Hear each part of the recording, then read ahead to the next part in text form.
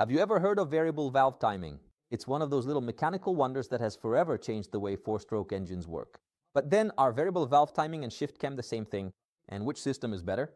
Let me explain it to you now. Let's start with the basics. In a four-stroke engine, the four phases, intake, compression, combustion, and exhaust, are managed by valves that open and close following a very precise rhythm, controlled by a shaft called the camshaft, which rotates in sync with the crankshaft to which it is connected by a belt, a chain, or even a gear train in the most refined engines. The camshaft controls not only the timing of when a valve opens and closes, but also how many millimeters the valve opens.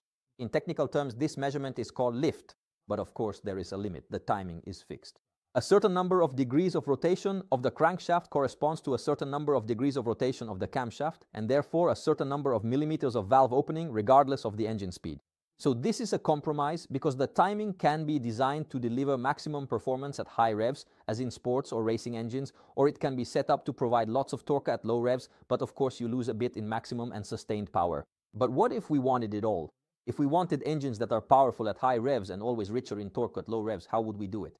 This is where variable valve timing comes into play, a system that allows you to change depending on the engine speed the moment when the valves open and close. And allow us a bit of pride when we say that the first engine with variable valve timing dates back to 1980 and comes from Italy, specifically from Alfa Romeo.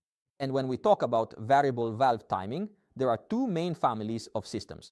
One, variable timing. The system essentially consists of changing the phase, that is, it varies the position of the camshaft relative to that of the crankshaft. The valve lift therefore remains the same, but the opening of the valve can be advanced or delayed, and the valve overlap can be modified. This system is used by Ducati, Suzuki, and also Moto Guzzi. It is a continuous and smooth system. It changes the timing progressively and is excellent for torque and smooth engine operation. 2. Shift cam.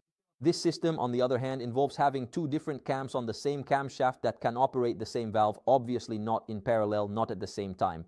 In this case, the cam profiles are different. There is a milder one, if you'll allow me the term, designed for torque, and a more aggressive one that comes into play above a certain RPM to deliver maximum power. In this case, both the timing and the valve lift can change.